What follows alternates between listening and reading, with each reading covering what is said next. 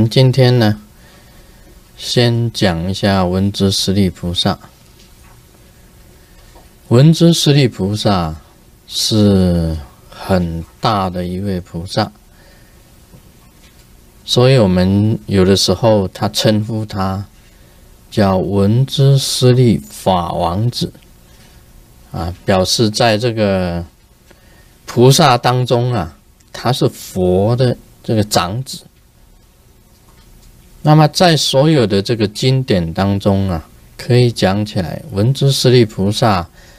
还是佛的啊师父佛师，他也是一个古佛来转介啊，变化成为菩萨的身，其实他是有佛的这个来历，有佛本身的来历。在密教里面呢，我们很重视这个文殊师利菩萨的修持仪轨。啊，文殊师利菩萨他有很多的这个修持法，像文殊师利菩萨这个夹见观，像这个文殊师利菩萨的往生往生法，文殊师利本尊，还有五啊五级童子的文殊师利菩萨法，很多的这个修持的仪轨。在密教里面呢，很重视文殊师利菩萨，因为啊，这个文殊师利菩萨的这个他本身的变化身也是很伟大的。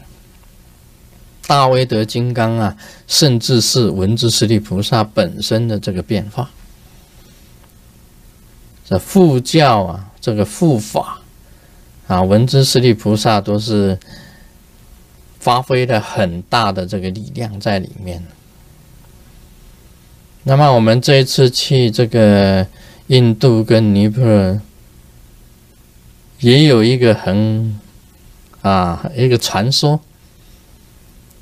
那个尼泊尔的首都是加德满都啊，加德满都。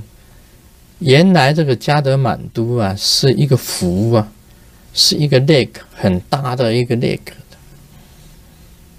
很多的水，那么传说是文殊师利菩萨从虚空中下降，啊，把一座山呢的中间呢用刀子，文殊师利菩萨的剑呢这样一劈下去啊，就劈了一个缝，啊，那个缝啊非常的清楚，好像用刀子这样子，用剑呢这样子砍下来，就砍了一条缝。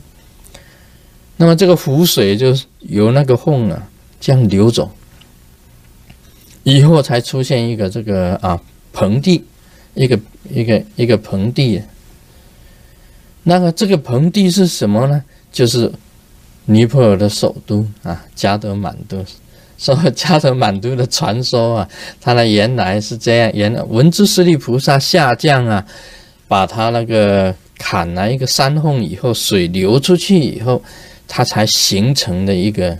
一个首都啊，这个传说啊，当然是哈啊比较神奇一点。不过由此可以知道啊，这个很多的佛教徒，所有的很多的这个佛的这个信徒，都很恭敬文殊师利菩萨。那么我本身也到过这个山西呀，五台山。那真的这是文殊师利菩萨的道场，每一个寺庙里面呢都供文殊啊，文殊菩萨很多种形象的文殊师利菩萨，甚至有文殊菩萨的这个啊万佛殿、万佛宝殿，全部都是文殊师利菩萨的啊，那个道场啊。也是很殊胜、很庄严。我们也有也想到啊，去到山西五台山的时候啊，想到这个虚云老和尚从普陀山一直拜到山西五台。啊，我到这个五台山的时候啊，花姐从太原市啊到五台山就要五六个小时的车程。那虚云老和尚是从浙江普陀拜到山西五台，那个山也是很高、很很雄伟的，每到冬天也是积雪的。我就想说，这个是，这个是，哦，这个拜佛的这一种虔诚的那一种、那一种心智啊，实在令人这个感佩。我从山下。从五台山山下拜上去啊，我都觉得很难，何况是从普陀山拜到这个五台山，而且当中啊发生还发生了一个哈很神妙的这个这个传奇。虚云老和尚在这个五台山下得到病啊，很辛很辛苦，身体非常的虚弱。那么有一个这个啊盖行啊，好像是一个老人呐，那么来帮助这个虚云老和尚，就给他药吃啊，还帮助照顾他一下子。虚云老和尚很感谢他，就问他的名字，他说五台山的人都认得我，我叫文吉啊，文吉。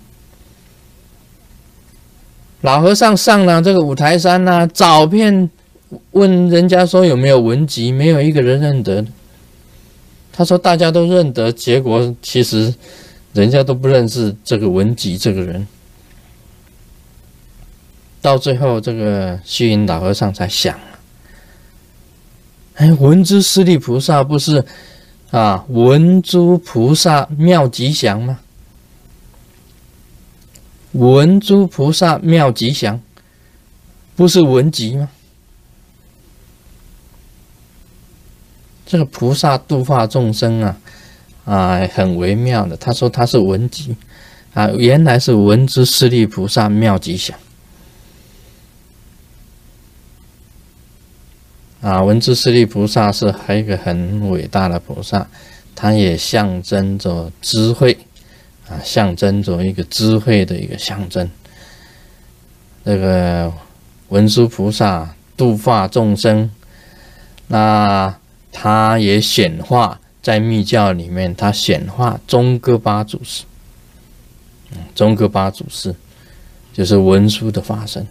很多的这个啊仁波切，他们都很喜欢讲他是文殊菩萨的化身。